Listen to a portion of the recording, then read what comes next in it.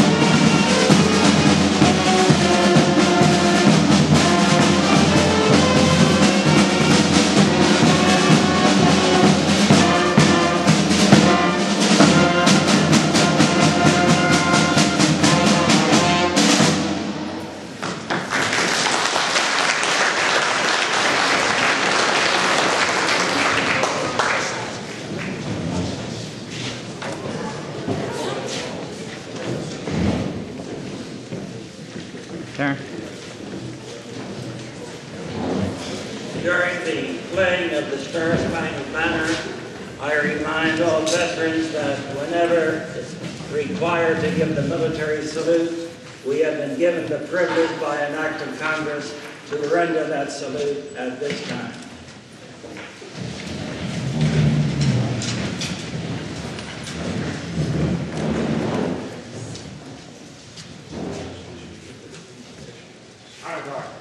And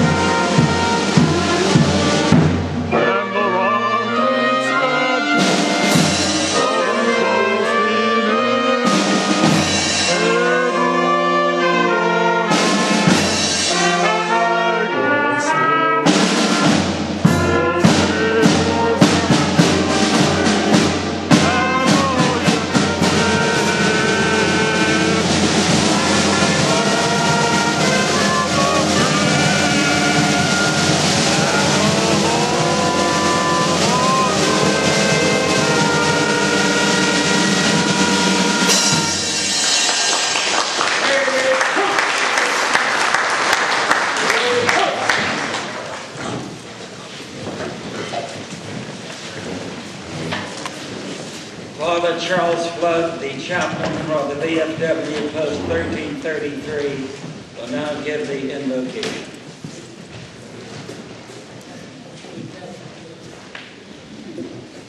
Let us bow our heads in a moment of prayer. Lord God, source of all truth, we gather this day to remember the truth, loyalty, and faithfulness of all the veterans of our armed forces, those still living and those many who have gone before us. Lord God, we honor them and we honor you, the source of their goodness. Help us to be their heirs. Help us to honor them by being faithful and true and loyal as they were. Help us to remember that you too are the source of all of this, through Christ our Lord. Amen.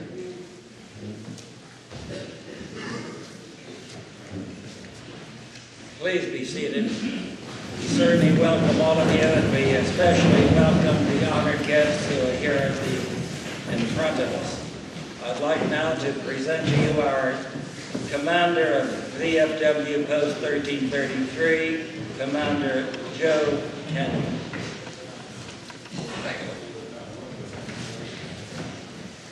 Good morning and thank you all for coming. Uh, it's a terrible day, but a great ceremony, and we have a wonderful turnout here today. Uh, over the weekend in the town of Interlaken, uh, I was invited to give a few words at their Veterans Day commemoration. And uh, I spoke to the individual who would be introducing me, and he said he was just going to do that. Well, we got there at the ceremony and he had four pages of typed notes. And everything that I was going to say was wiped out. Uh, I walked to the podium at that time, uh, more hearing the executioner's song, and I'm not going to steal anybody's thunder today because it, it's a great day in this great hall that we're in.